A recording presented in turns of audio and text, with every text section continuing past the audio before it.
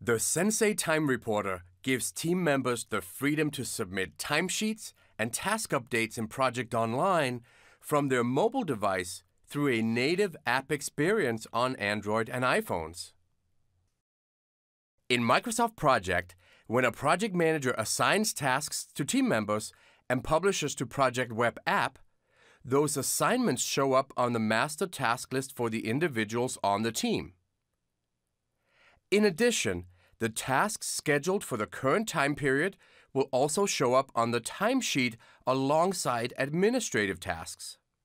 With the Sensei Time Reporter, users can now view the master task list on their phones as well. The built-in views show current, overdue, new, incomplete, completed, and all tasks.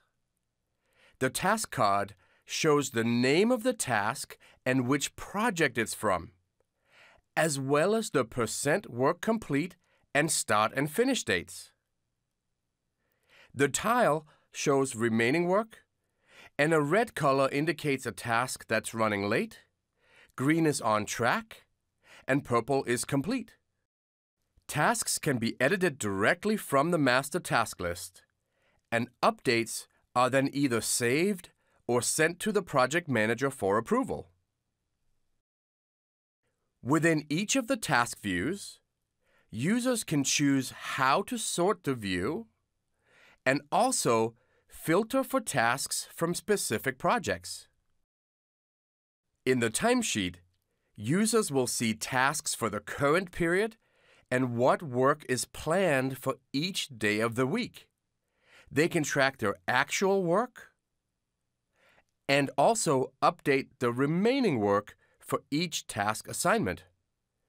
The timesheet will show tasks from across all the projects the user is assigned to if a task isn't scheduled for this week, the user can add it by selecting from existing assignments. Non-project lines and personal tasks can also be added if the project web app configuration allows it. At the bottom of the timesheet are the administrative categories. That is, the generic buckets of work not related to specific project schedules and non working time. Typically, things like training and vacation. Users can track time here and see the totals for the entire timesheet. When all time has been entered, the timesheet can be submitted and it's now read only and pending approval. The user can recall the timesheet for any updates. The updates submitted through the app will show up in PWA.